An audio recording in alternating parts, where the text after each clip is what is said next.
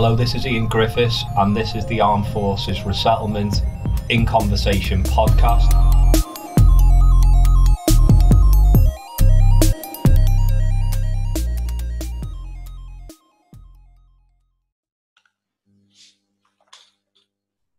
Okay, so welcome to the first episode of the Armed Forces Resettlement in Conversation podcast.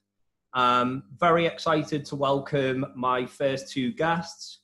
The first one is Jac Hughes. He's a Scrum Master and Agile coach from Everyday Agile. And my second guest is John Stephenson, who is the director of the Forces Transition Group. And welcome to the podcast, guys. Welcome. Thank okay, so yeah, yeah. Thanks for coming. Um, so we'll we're live in the Facebook group and we're being recorded for the podcast, which is going to be put out later this week. Um, so should we start with Jac? Would you like to go first, Jac? Yeah, thanks for having me. Tell us a little bit on. about your sort of transition from the Royal Navy, when you went in, when you left, and yeah. uh, a little bit more of your story. Uh, yeah, cool. So thanks for having us on, first and foremost. So I joined in 2008, 17 years old, lanky, streak of piss. Not much has changed, to be fair. Um, left in 2015 as a, I suppose in in army speak, it, it was be, a corporal, like a leading seaman, so Killick gunner. Um, then step, I went through the FDM route, which some of the people in this group or listening to this podcast might be aware of. Um, they give people a foot into the door of the corporate world. Did my gig with them for two years and then moved on. Started posting content on LinkedIn about three and a half years ago now. Noticed that there wasn't many real stories or people sharing their story. There's loads now, which is great, which I'll move on to in a minute. But at the time, there was no one really sharing their resettlement journey. So I just started sharing snippets. Obviously, it's was was, was focused on me, so it very generic. But um, wrote uh, I'm going to call it a pamphlet because I don't think I can call it a book called Resettle. So it's just again based on my own sort and of that, journey. That's, that's, available on Amazon, isn't it, Jac? Yeah. Yeah, yeah, it's like two pounds seventy five or something. But yeah, it, it's just essentially short meat and potatoes advice. Um, but yeah, the point is not to plug that. But and then set up Everyday Agile, which is a, a small consultancy. Um, but I suppose now, going back to that point, it's for me, it's about promoting other people. So when you see people like John, um, Gary, Matt Pascoe, Matthew Lewis, they're posting relevant, up to date content that is going to help service leavers. Yeah. I feel like a bit of a a bit of a football pundit who's been out of the game for 20 years. Well, sure. So when, I've got when quite... you said that to me this morning, I kind of sort of related to that, and you know, what I'm what I'm going to try and do off the back of that because I left a long time ago, and it might be a bit of stale information. I said the same thing to John when we came on the on the on the live just before we we we sort of went live into the group, and um, I think what I can do because I'm a bit of you know assault. I left a long time ago, is just get the people who are fresh on the podcast to relay that information and just host basically. Yeah, definitely. I suppose that the benefit of having like John and me and you is the networks are a bit different. So yeah. we've got people who are established in the in Civvy Street, but the actual yeah, there's so much good content out there now from people actually going through it. Yeah, I, I, w- I would suggest following those people.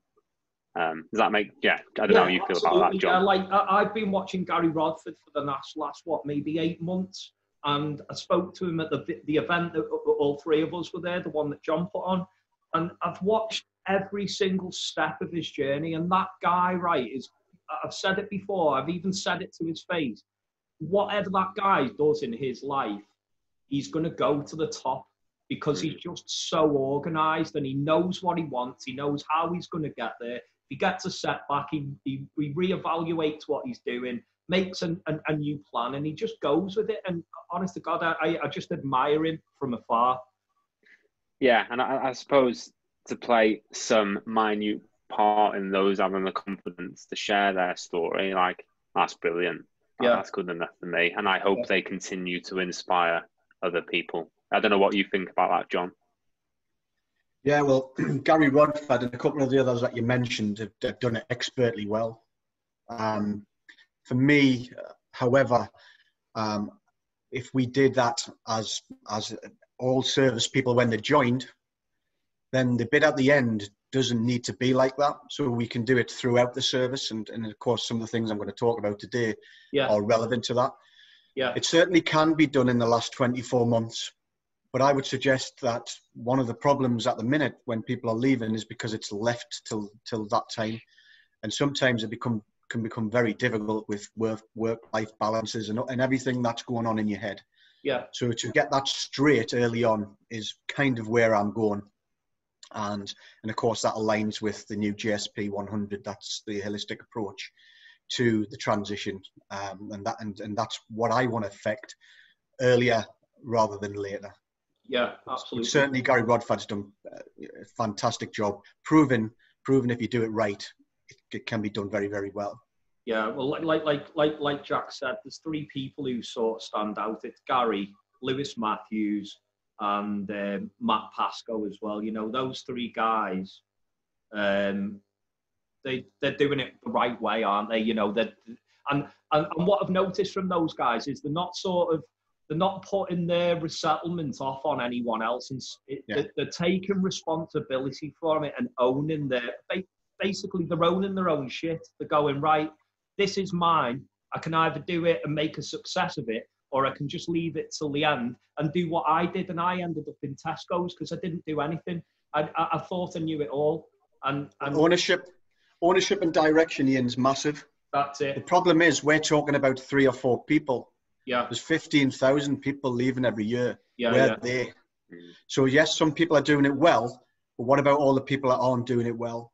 Yeah. That's, that that has to change, and it has to become more visible because yeah. then more people can help them. Yeah, sure. Um, so have you got anything to add to um, what John said there, Jac, or should we just get um, straight into John's presentation? I know he wants to share his screen and stuff like that. No, no, yeah, no, happy. Yeah. Do you want to go straight in then, John? And um, I'll, yeah. I'll jump on.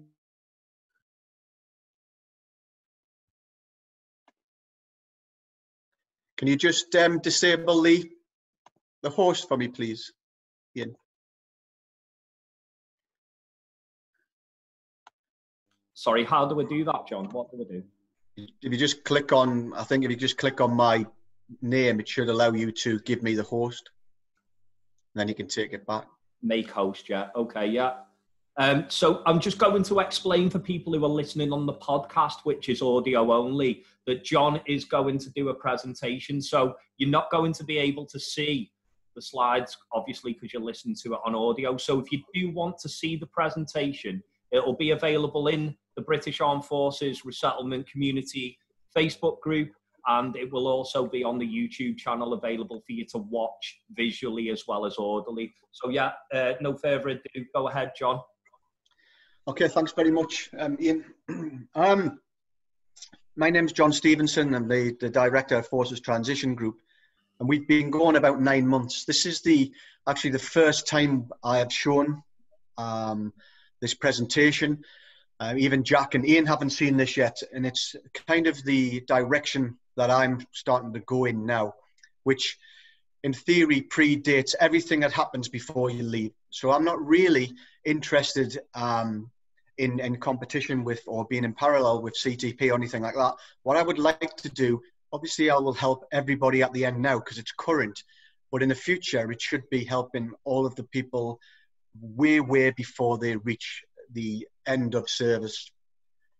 So because everybody can't see this, um, and I'm just going to move the, the pictures on my screen.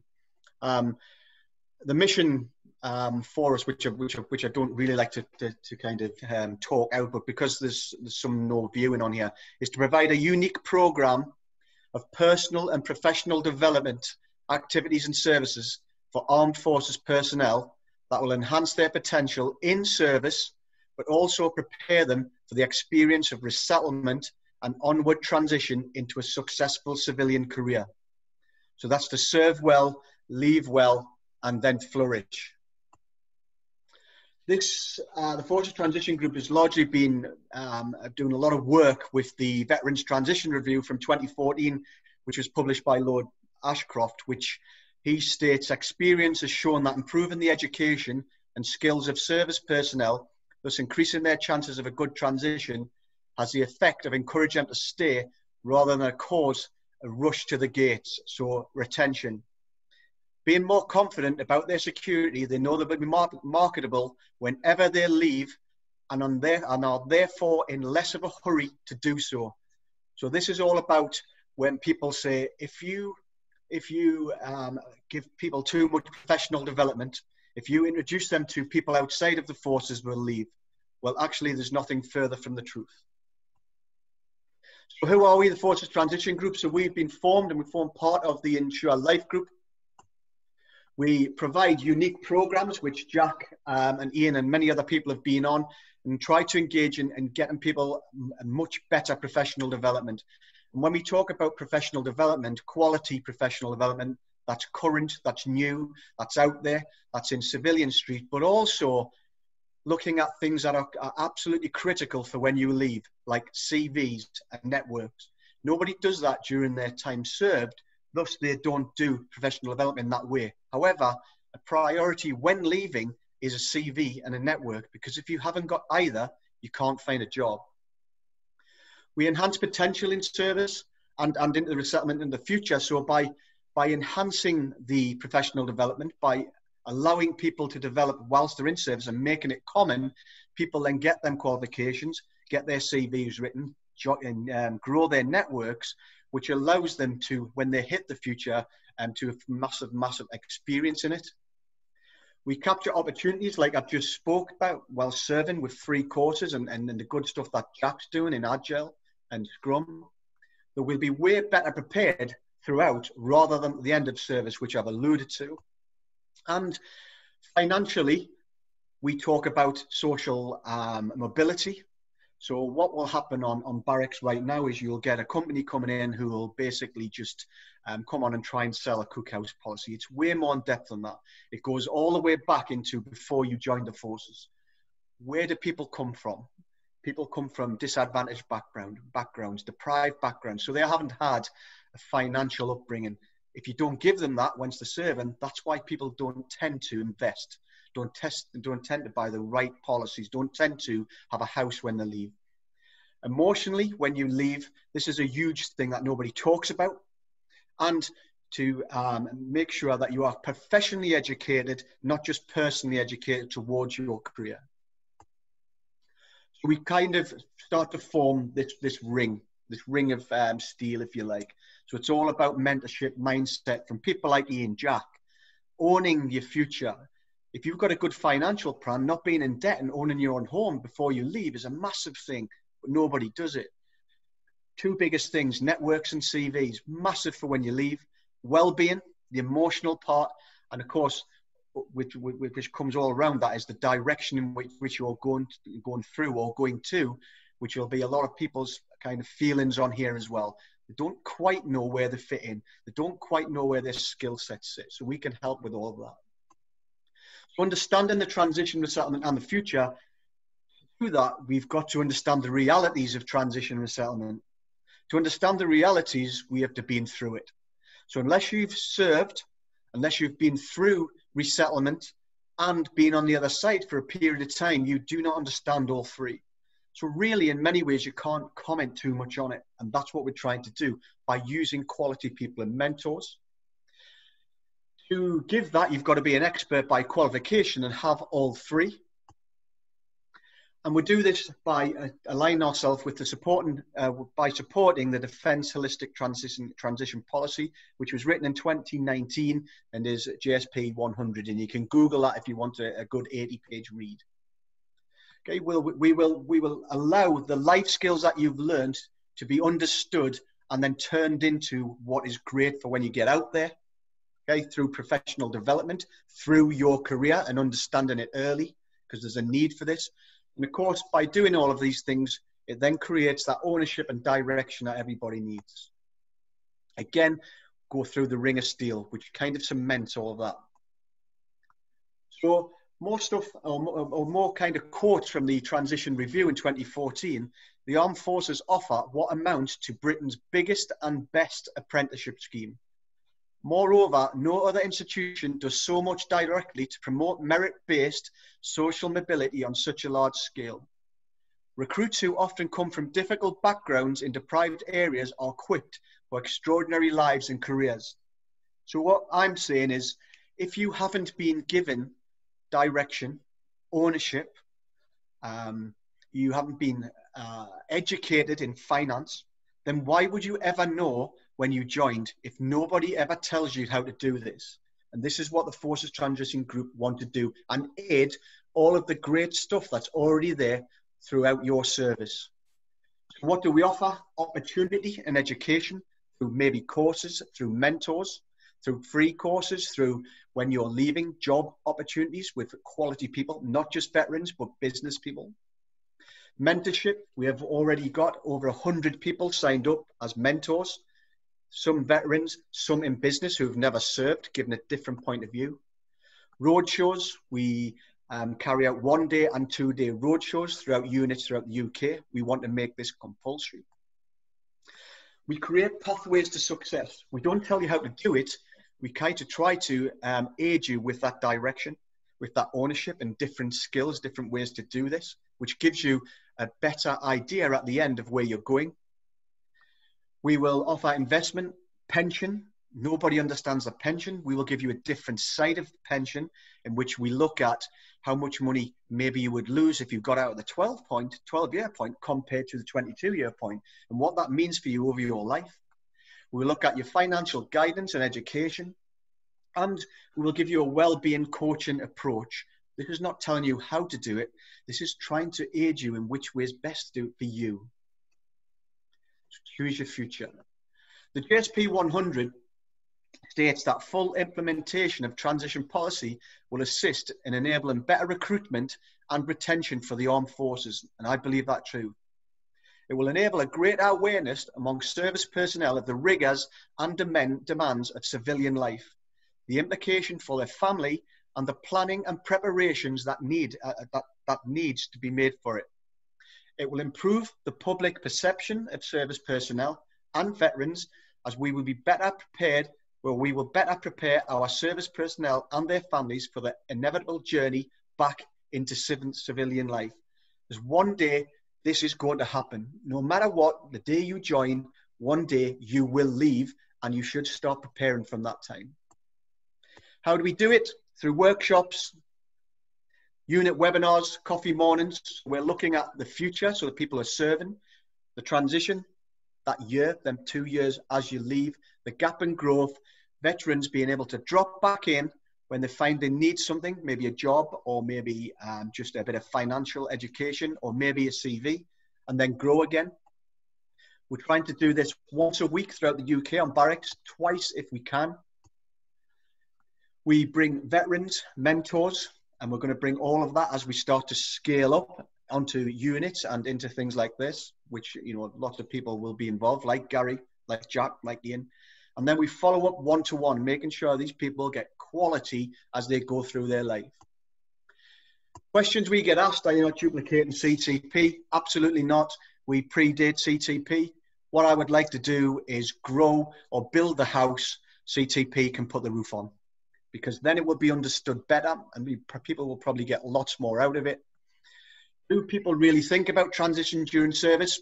Yes and no, but because it's not there at the minute, nobody thinks about it or very few people do by making it the norm, breakfast at seven, PTs at eight, best do some professional development. Maybe if it's out there, people will do this better. So um, I'm not saying an 18 year old will want to professionally develop, but when he's 21, he might, if this is the norm. Will this encourage people to leave? I don't think so, and neither does the JSP. Actually, if you manage people correctly, develop them correctly, and they can see that the future is way better by having a longer service and they have more skills, leadership, management, more qualifications and experience, they will go into civilian street in a much better place. Who funds this? I fund this. We fund this through the Insure Life Group, through insurance, has to be funded somehow. Are we just selling insurance? Absolutely not. We're doing this the best ability for each person out there. Um, insurance is one thing, pensions is another, investment is another, and people need to be educated on this because getting a cookhouse policy in 10 minutes is not good practice. How can you benefit from this? Benefit from this? You can benefit in many ways: free courses, job opportunity, free CVs, speaking to mentors, really starting to own your future. So, how can we help you now? We could do a CV rewrite or a CV, a CV first rate and LinkedIn profile match. Massively, massively important all through your career. And at the end, this is free. Um, we give a financial education and one to one expertise for life. So, no matter what, whether you want to be part of us, we will give you recommendation and advice for life. You can drop back into us when you need. We give you mentorship through hundreds and, and, and hopefully thousands of veterans and business in the future. We help you with your performance, mindset, and attitude by webinars, by, by being on barracks with quality people coming along for the ride. It's not just everything in the, in the word of John Stephenson, which will give you your direction and ownership for the future. And will also aid in your professional development and the job opportunity with some personal and family well-being as you're going through that. So achievements so far in the last kind of eight months, the CV to interview, it states 85% success rate there, but however, a survey suggests in the last week that this is now at 96%. So people actually making it to um, some kind of interview.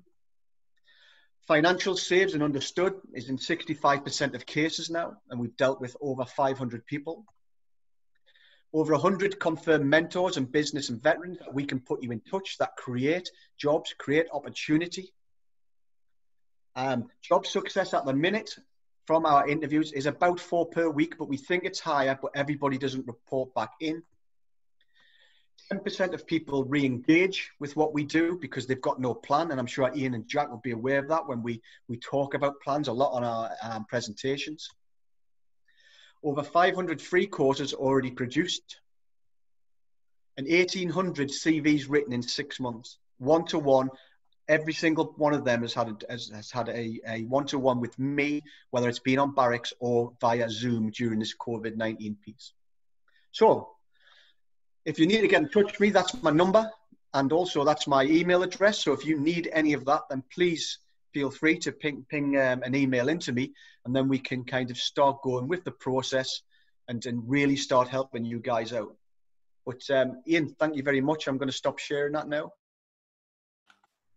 Right, John. Yeah, can you just um, for the for the benefit of the people um, listening on audio only, can you just tell them your the Forces Transition Group number and email address if that's all right? Yeah, it's John at forcestransition.group.co.uk. You can find our website and all of our numbers and things like that on www.forcestransitiongroup.co.uk.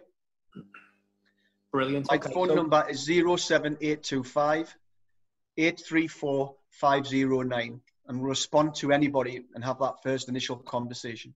Okay. Yeah. Well, brilliant. And I just just to add to this as well, because I know you're not on Facebook, John, but whenever there's going to be a forces transition group, um, they're a seminar, a roadshow, I guess, aren't they? The, do you call them a roadshow, John? Yeah. Roadshows, I've, yeah. I've been to one. I was I was due to go to another couple of them, but because of lockdown, um, they they they were postponed. So um, whenever there is one, and John lets me know about it, I'll create an event within the, the Facebook group.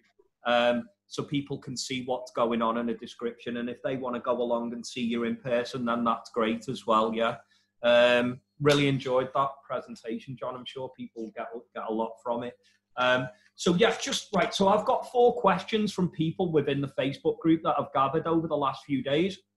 Um, and I think some of them will be relevant to John, and I think a couple of them might be able to be um, answered by Jac as well. So the first one is from Karen, and do it, it, the question is, do we have a list of employers that guarantee or prefer to interview veterans? John, I've got I've, I've got more of an opinion more than a. a All right. Yeah, go on. Yeah. So, do, are you happy, Jac? If I answer first?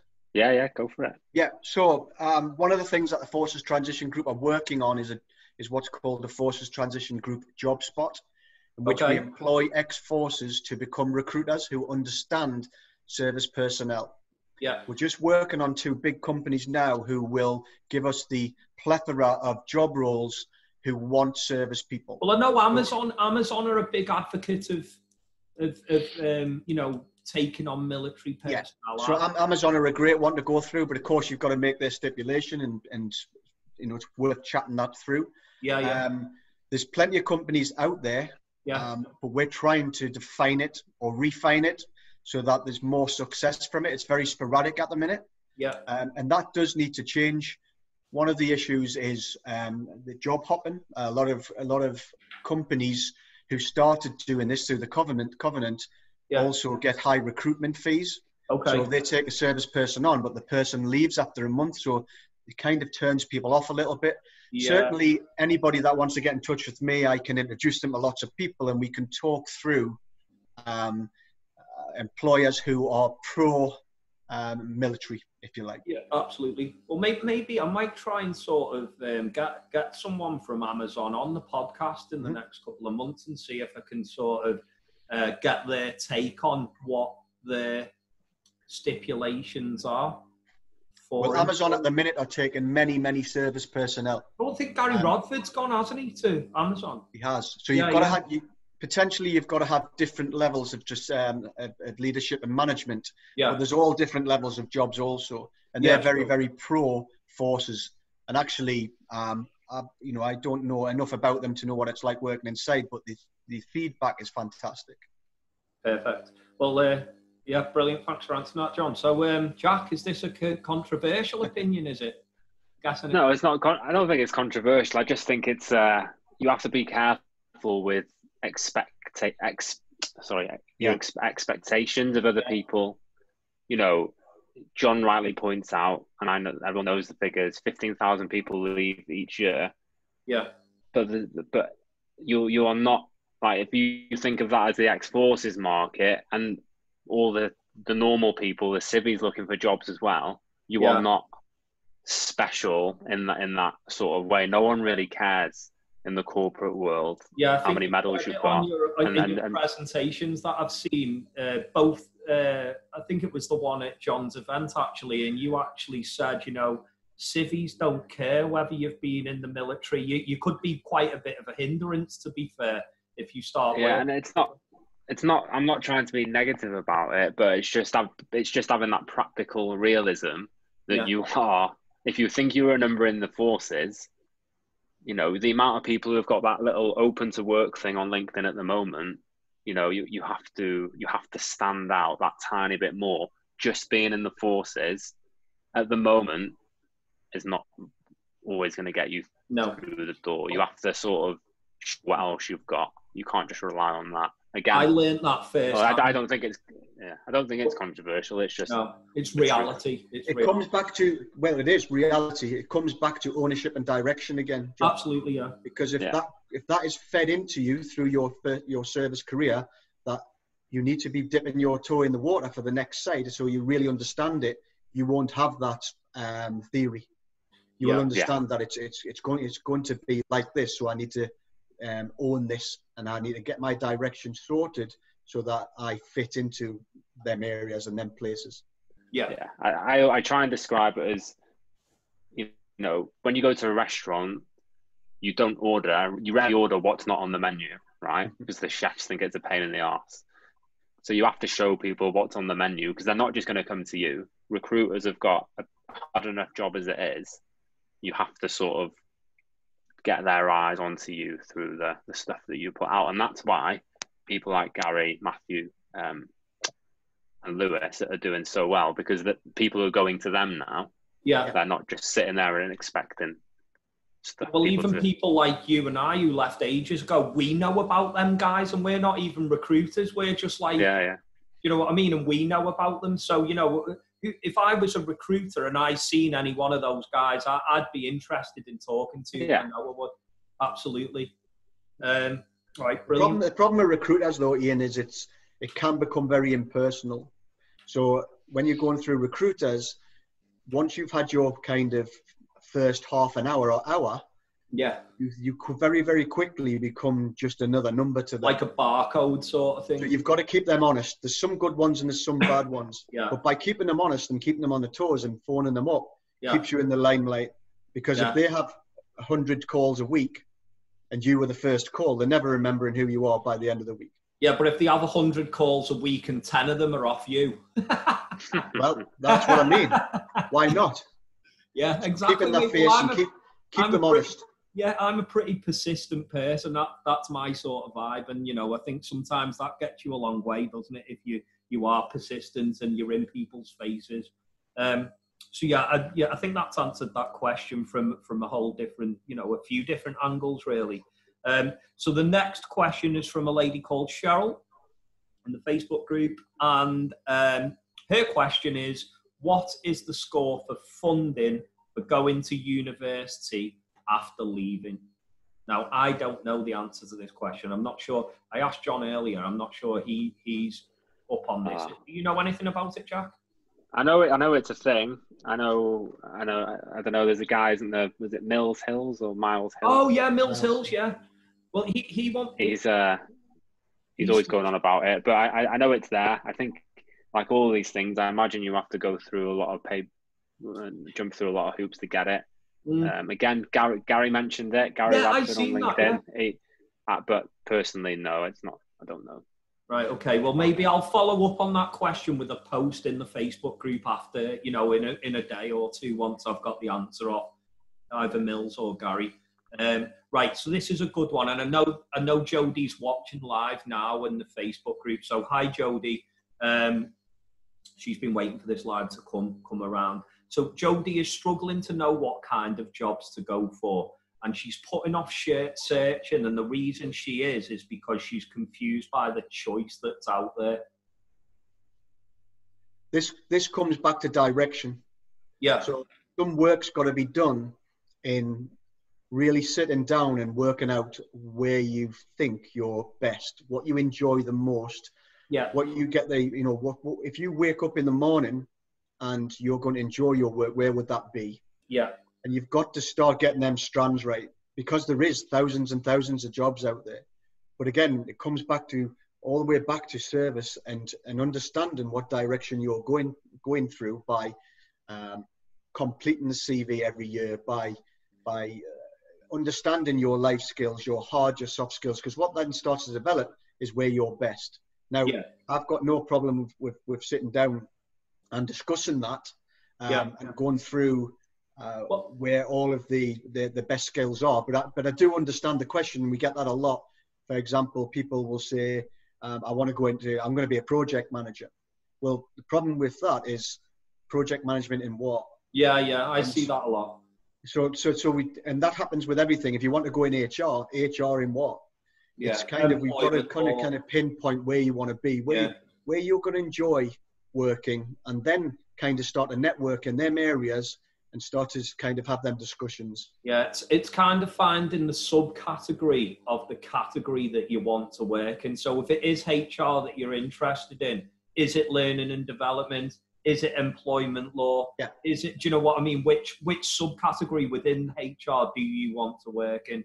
Um, and well, what I'm going to do as well, if you don't mind, John, because I know Jodie put a comment on there as well that she just sort of um, she's a little bit sort of lacking direction. So away from the uh, from the podcast and the live on Facebook, I, I, I'll send Jodie your your details over on a DM and, and put you guys in touch because uh, I think she'll benefit from the Forces Transition Group massively.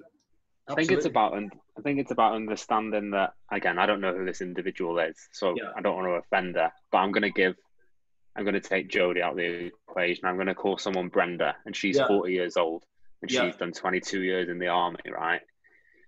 You know, Brenda's got another 25 years in her probably, which then if you if you do that, that could potentially be five, uh, four more careers, Yeah, five more careers. yeah, yeah, So it's not if you do something for three years, there's nothing really stopping you from changing your mind. I don't get bogged down with on, on the other angle, I suppose. Don't get too bogged down with niching down too much. Yeah, yeah. Because you've still got three or four careers left in you. I Yeah. think how many think how many times you've chopped and changed in the forces. You know, you Yeah. could you've probably had like three or four different careers in that time. So you could go into HR and manage a project and think, oh, I actually quite like that, quite like that part of it, and then go into project management or It's kind of like you know, branch changing, isn't it? But for civvies. yeah, and once once you get into a, a massive, you know, a, a nationwide building society or a Lloyds Bank, yeah, yeah, it's so easy to, to chop and change between branches, if you like, or yeah. You could or be a mortgage advisor, or you could do this, or you. yeah, like you see it all the time. People chopping and changing. Once you're in somewhere, which is obviously the difficult bit, yeah, it's quite easy to sidestep. So yeah, but don't get too bogged down with niching. Yeah, because that can you can kind always of change your mind. it can kind of blinker you that as well and take your sort of mojo away whilst you you know taking your sort of your, your vision away from what you know what the goal you're trying to do because you're worrying about so many different aspects of what ifs if that makes sense. So you're like what if this happens? What if that happens? Just yeah, and of, to be, and Kendo Simon Kendrick just put something in the comments about entrepreneurship. Like what, what, what? You know, why not set up on your own if you've got yeah the motivation to do that? Yeah, I mean, from an entrepreneur sort of, um, I don't really like the word, but you know, I could probably put Yeah. myself in that category. Um, it's not for everyone, but once you get into the role of uh, and you start making sort of waves within running your own business, it becomes an. For me, my I I earn money off what I love doing, so getting up in the morning, there's no problems. Do you know what I mean? And if I have to work an 18 hour day, it doesn't really matter to me because I- I'm enjoying what I do. Do you know what I mean? So I think that's quite important as well. So if you, I mean, if anyone does want to talk about setting their own business up and stuff like that, I'm not sort of Bill Gates or, you know, Richard Branson, but I do know the basics of setting up. So I- I'd be happy to sort of, you know, point people in the right direction that way as well, you know. So, um, right. But to answer, but answer that question though, in, in, in a one is just get in touch and we'll make a plan. Yeah, let's make some, yeah. Once you start writing it down, it might become easier to see. Yeah, yeah, yeah, yeah. Make a plan. Yeah, that's that. that sort of yeah. That, that's the first thing you need to do, isn't it? Yeah. So right, the last question is from a guy called Stuart, and he is struggling to get to interview and looking at using his ELCs, but for what? And I think this is. You know, I think this is just. I, know where this one's going to go. It's probably just to phone you, John. So he's looking to use his ELCs. but he doesn't know what for, and he's struggling to get to interview. Now, I, I, I didn't really, I couldn't really. The comment I, I might have taken it out of context. I don't know how it was really written, but they're the exact words that were written on the comment. Well, if you're struggling to get to interview, could be for many different reasons, but in general, forces s- leavers struggle to get interview because they fall foul of the ATS, the applicant tracking system. Okay. 80% of companies are using it. So if your CV does not match the job spec, then you Yeah. get an automated reply from a computer telling you you haven't been um, successful for interview. Now, one of the things we do and why we've got such a high percentage on success to interview is because we work through that with what's called Tag Crowd, and um, we form a different kind of CV in which we humanize you and then sell your story with fact and figure. And alongside the words they need, also the first person that has that eight second to 20 second glance at your CV, then will put you in the small pile. The more small piles you can get in, the more chance you're going to interview, the more chance you've got of winning one of them races. Yeah. That's what we do. And the success rate is, is huge. perfect. So come, if you want, if you need your CV looking at, absolutely, I can do that. Well, by that's, that's, tomorrow. where, that's where it's going to start with that question, I think. And if, if they're looking to, I, you know, I see a lot of companies, you know, um, I'm not going to name any, but I see a lot of companies sort of saying, spend your ELCs on this, spend your ELCs on that. And some of them, I'm not saying all, well, you know, a small percentage of them, I kind of look at them and think, you're just after the ELC money. Um, yeah, so I got ripped apart for that the other day. Like someone, you what, know, for saying that. But yeah, just for pointing out that not all companies have got your best interest at heart. Like oh, it's yeah. fact. Well, yeah, it is a fact. Yeah, um, I, am not scared. there's, only, there's only so many locksmith courses out there that people. That's it. You know, and I think a lot of them, right? And I'm going to be really controversial here now, but it's my podcast, so I can. Um, I I see a lot of them that, um, and they know that the core. How, how much you get for the LCs? Is it two and a half grand per course or something like that? Yeah, with with a five hundred pound contribution. You yeah. Pay. Lo and behold, the course is two four nine nine. and you know. But Ian, we're coming back to the same old thing, aren't we? Yeah why are we not doing this whilst we're serving? Yeah. Why are we wait yeah. until the end? Yeah. You know, why not sit on, or why, you know, with Jac, if I was going to do agile and scrum, I'd be doing that through my career. Yeah. And using it to invest my ability while serving. Yeah. Because then I can gain loads of experience in it. Yes, yeah. do it at the end if it comes to that. However, I would have much preferred to know about Jac during my service, and then he could have took me through that, and I could have used it enhance my career. Yeah, well, it's also the same. Say if somebody wanted to buy a marquee hire franchise off me and they wanted to secure, I don't know, say if they wanted to open up in Plymouth and they wanted that postcoded area, but they were only leaving the armed forces in three years, I'd be quite happy to take a deposit off them for that area and then train them up over the three years and then let them get cracking then. That's called investment, though. And nobody wants to do that because they don't understand it. Yeah, yeah. So there's just got to be that sort of education throughout. I feel, and you know, yeah. you're going to Parliament, are you, John, or you're nearly there? Well, that that's where I aim to go. Yeah. So if that Brilliant. happens, I hope it does. I just believe that we can change a lot of lives, make a big difference. Well, mate, service, which is an amazing, amazing thing, and, and should be enjoyed. Yeah. But I think we can get a lot more out of it while serving it for the end. Yeah, definitely. Well, if you get there, John, I'll drop you off outside. um, so, right, has anyone got anything else to add they want to sort of add towards the end of this? I'm really pleased with the way it was going. I'm not going to lie, I was a little bit nervous before I came on. You two, you guys have made it really easy for me. I think because we're friends away from this setting anyway, made it pretty easy for me. Um, but yeah, has anyone got any, anything they'd like to add at the end? I think Simon Kendrick's looking for a looking for a podcast slot here. I, well, he, I, have already, yeah, I think he, come on anyway. You know, more and merrier. What I want to do, what I'm, this is the way that the podcast is going to go now, and I'll just, I'll just lay it out right at the end. Is I'm going to get people like yourselves on who help people who are leaving. Yeah, I'm going to get people who are in the process of leaving towards the end, like the likes of Gary Rodford. I'm going to offer, ask him to, uh, and maybe Lewis and and, and Matt. So it's fresh people who are going through that now. And then I'm also going to try and get employers to come on um, to, you know, the likes of Amazon. I'd love to get someone from there on just to sort of talk about what they can offer to service leavers as well. I'm going to get people from all different angles on the podcast and deliver it into this absolutely. Week. And hopefully I can help some people out. That's all I want to do.